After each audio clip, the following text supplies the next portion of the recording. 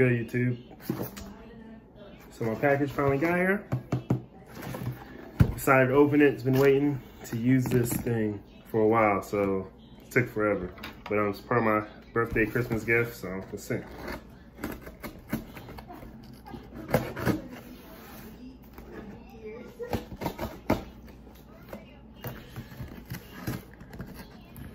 Oh, shoot. Rip it open.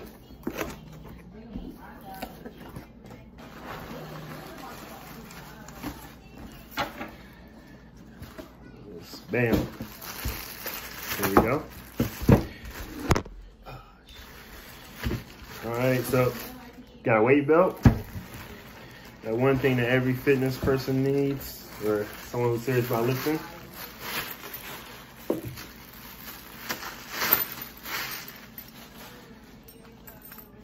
And it's from JUSTLIFT. Ooh, right? Favorite brand, pretty much pretty standard, pretty pretty stiff looking, all black. So uh, yeah, pretty excited to see how this thing works here. Oh yeah, woo! Oh yeah, it's super stiff. Definitely have to break it in. You can see this lift. So if you don't know, ooh, let's lead us on. Get a little back support. So if you don't know, uh, JUSTLIFT is Simeon Panda's brand, and I'm um, fitness dude. You guys know most people follow him. But um, yeah, so I, I only buy stuff that from people that I support, unless I already have it myself. So I don't have no weight belts yet. So I have this one now. This good fits me really well. Um, I can already really feel how tight it is, especially since it's so new.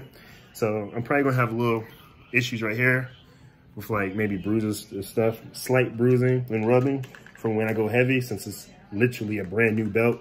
But that's a good thing because it's gonna actually hold and stick to what it needs to stick to. But um, yeah, super excited to use this belt. Gonna be helpful. I got the knee wraps, as you guys can see. I got the knee wraps to use with this stuff. So um, between this and the knee wraps is gonna help me with my goal and what I'm trying to do and um, have yet to tell everybody that, but some people probably already can guess it. Not gonna tell you guys, but like I said, JUSTLIFT belt, it's gonna be, it's pretty dope.